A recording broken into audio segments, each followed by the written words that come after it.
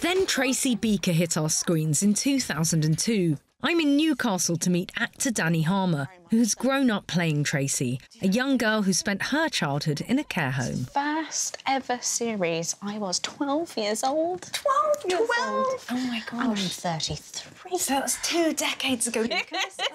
yeah, let's have a nosy. We're on the set of the 10th series of The Dumping Ground, a spin off based on the home Tracy used to live in. The first house that we ever used was actually based on a real care home that someone had gone to visit, and each room the kid decorated themselves. So you could almost see their personality as you walked into the room, which I love. Back upstairs. No, try giving that Tracy Beaker a good slap. Upstairs. Leave it, Justine. Not everyone felt it was appropriate tea time viewing. There was a lot of controversy actually as well, wasn't there? Because, you know, things like bog off. Bog off! And I still get it now where parents come up to me and was like, I banned my child from watching your programme. I'm like, OK. Truth telling. You think you know everything, don't you? Why is everyone asking for the truth if they can't take it? They kind of didn't want their kids copying her behaviour. Most people saw her as just a naughty kid rather than looking into why she was like that, why she reacted that way. Aren't you coming out? In a minute. Don't see why she made a fuss. He's nothing special. Brother have a dad like that who visited the none at all. Are you crying?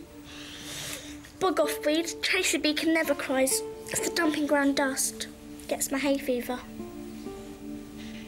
during this time, you know, there's less and less nuclear families. Family structures can be complicated. Lots of people have, you know, an absent parent or no parents. How important do you think it is for kids to see themselves reflected in what they watch? I have met loads of care experienced people that um, thank me because they um, found that being in care was the best situation for them um, and that it took them out of a very horrible situation.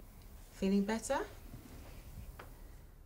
The Beakerverse has been on TV for over 20 years, with a grown up Tracy coming back onto our screens in Tracy Beaker Returns.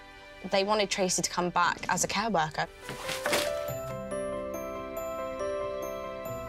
See how she kind of manages in a position of authority, which she absolutely hated when she was younger. She'd hate anyone telling her what to do. Do you know my mum, Tracy Beaker?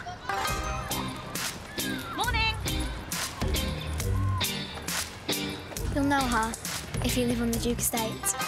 Dani then portrayed Tracy as a single parent. This series didn't sugarcoat the problems of the world. You can see that they are actually struggling, trying to pay bills, trying to keep a roof over everyone's head, and we don't back away from that. It's not all shiny and happy.